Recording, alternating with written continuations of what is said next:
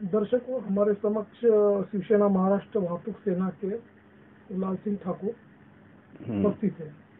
हम ये आपसे जानना चाहेंगे कि जो अवैध वाहतुक जो चल रही है और विशिष्ट जो पार्किंग है ट्रैवल बसेस की उस पर नियंत्रण लाने के लिए आप एक शिवसेना के कद्दावर पदाधिकारी हो शहर और ग्रामीण आप सब देखते हो। हम्म। तो आपकी क्या भूमिका है?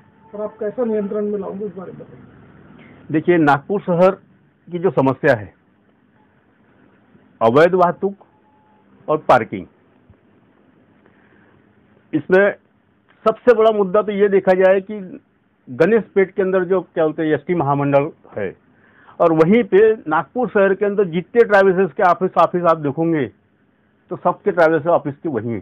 इसके ऊपर एक तो म्यूनसिपल कॉरपोरेशन ने भी गौर करना चाहिए, और उसके साथ साथ में चलते महाराष्ट्र परिवहन मंत्री जो है, उन्होंने भी ध्यान देना चाहिए।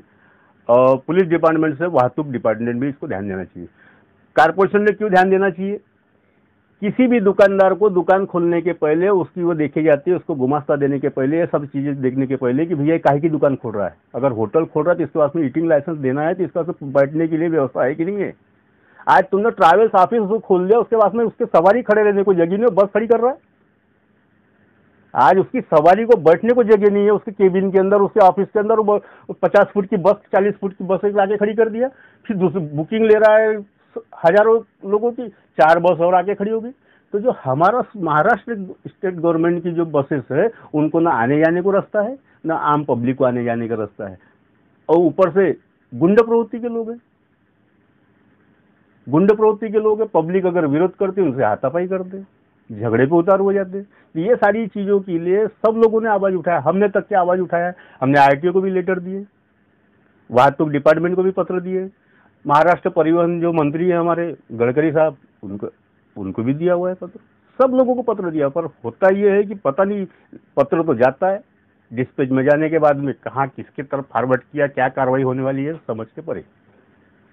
जब पिकअप सीज़न होता है ट्रैवल बसेस का। हम्म। अक्सर देखा जाता है कि ट्रैवल एसोसिएशन के जो अध्यक्ष है हम्म। उनकी मनमाना और तरीके से बसेस पार्क करने के लिए उनकी अधिकारी उनको कहते हैं। हम्म। तो ऐसे से अपना पूरा रास्ते का वाहतुक भी बिगड़ जाता है उस पर कोई नियंत्रण नहीं रहता। ऐसे समय में आपने बार बार जिलाधिकारी को भी निवेदन दिया हुआ है। दिए उसके बावजूद भी उस पर कोई नियंत्रण नहीं है। तो उस पर नियंत्रण लाने के लिए आप आपके शिवसेना की से आप क्या कारगर कदम उठाएँगे इस बारे में बताइए।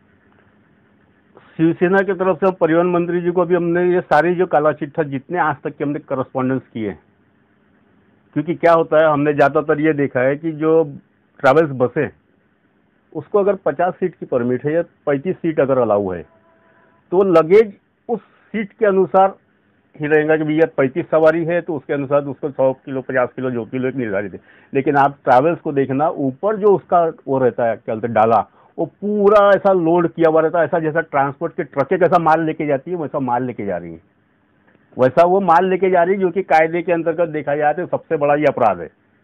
और मैं इसलिए मानता हूँ उसको अपराध है क्योंकि उसके सामान की कोई चेकिंग नहीं है। न टोल नाके पे उसके सामान की चेकिंग होने वाली नहीं, कहीं नहीं अगर उसमें गोला बारूद बम लेकर के अगर कहीं से आ रहा है तो उसकी नैतिक जवाबदारी कौन लेने वाला? क्योंकि वो तो कष्ट, जो सवारी उसमें बैठी, उसका सामान नहीं है वो। वो उसका सामान है ही नहीं। उसके बैग, झोला, झंडी तो सब उसके पास में है। इनकी नी- ट्रैवल्स बस के पीछे छोटी पेटी होती है, उसके अंदर उसका सामान रहता है। और ऊपर जितना रहता है, सब लगज कुरियर पार्सल रहता है। ये लेने का, ले जाने का अधिकार उसने किसको दिया? यानी इसको कलेक्टर ने दिया या आरटीओ ने दिया? और इस विषय में हमने बीच में एक ट्रैवल्स रोका हुआ था। वो ट्रैवल्स में इतनी सवारी भरी थी, इतनी सवारी भरी थी कि ट्रैवल ऐसी ऐसी पूरी हिल रही थी। और ऊपर पूरा ऐसा लगेज। यानी वो ट्रैवल्स को अगर नहीं रोकते थे तो गलती से वो ट्रैवल्स कहीं पे भी पलट सकती थी। उस समय मैंने एक्साइज वाले को भी फ़ोन किया यानी न जाने कई डिपार्टमेंट को फ़ोन लाया एक नहीं आया कोई नहीं आया। ओवरलोडिंग करके आरटीओ ने खाली आरटीओ में गाड़ी लगा दिया उससे ओवरलोडिंग का चा, चार्ज भरा लिया और गाड़ी छोड़ दिया। इसका मतलब ये आप अपराध करिए उस अपराध के अंतर्गत जो दंड भर आता है आप दंड भरिए और जाइए। ये सबसे बड़ी दुखद चीज़ है। इसके लिए हम हमारे शिवसेना के माध्यम से मुख्यमंत्री साहब को ये सारी चीज़ें जब भी हमारा वो डेपुटेशन जाएगा अवगत करवाएँगे। संबंधित जो मंत्री रहेंगे उनसे कहेंगे कि साहब इसके ऊपर आप लीगली कड़क कार्रवाई करो। ओला उबेर विषय को लेकर शिवसेना ने वाहतूक सेना के पदाधिकारियों ने पिछली बार आंदोलन किया था। क्या उसकी पार्श्वभूमि रही और क्या उसकी सफलता मिली?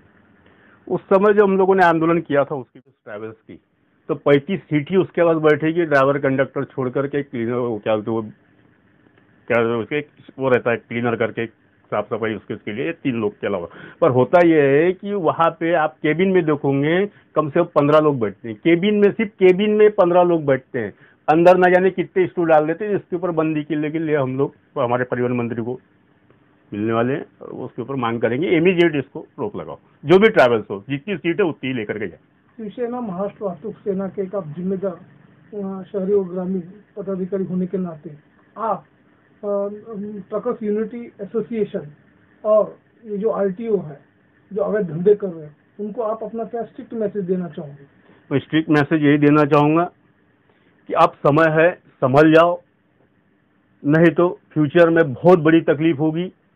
चार गाड़ियाँ हैं तो चार गाड़ियाँ नियमानुसार ही चलाएँ, परिस्थिति न हो कि चारों गाड़ी को हम लोग खड़ी करवा दें कि चलने के काबिल न रहे। क्योंकि दंड का प्रावधान सभी के लिए।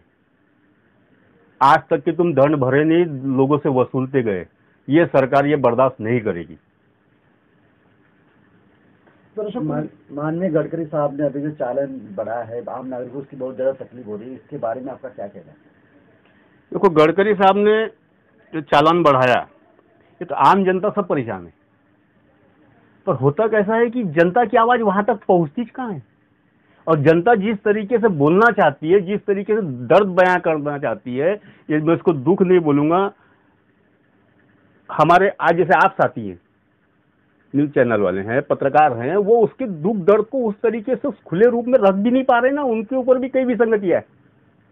कहीं ना कहीं कुछ दबाव यंत्र बोलो या कुछ भी, वो भी उस जनता की भावनाओं को सही तरीके से रख नहीं पा रहे हैं। क्या इसके लिए आप आंदोलन करेंगे करेंगे। आंदोलन तो हमारा हर चीज़ के लिए रहा जहाँ अन्याय अत्याचार हुआ उसके लिए हमने संघर्ष किया और करते रहेंगे।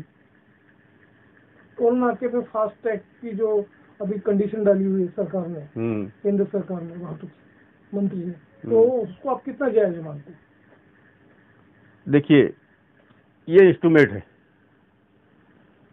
ये हर समय फुल स्पीड में फोर जी का डाटा देगा ये कोई गारंटी नहीं। ये सरकार ने ये जो चालू किया है, ये तात्पुरता एक वो है, ये कंटिन्यू नहीं चल सकता। ये अभी फोर जी यहाँ दे रहा हूँ, यहाँ से बाहर निकल गया झाड़ के पास पता चल चला कि फोर जी नहीं अब टू जी पे ही आ गया है तो मशीनरी सही रिज़ल्ट देगी, कोई ज़रूरत नहीं है कि वो सौ की स्पीड उसमें बता रहा है तो वो सौ की स्पीड होगी उसकी। इसलिए वो टोटल गलत है, मैं उसका तो करता हूँ दर्शकों ये है हमारे सामने लाल सिंह जी, शिवसेना के नवाहतुक के पदाधिकारी है। इन्होंने हमारे चैनल के साथ अपने वार्ता किए और उन्होंने ये भी चेताया कि शिव सैनिकों ने अपनी लाइफ अपनी स्टाइल से उनसे निपटेंगे करप्ट अधिकारी ज़रूर, ज़रूर। ठीक है सर थैंक यू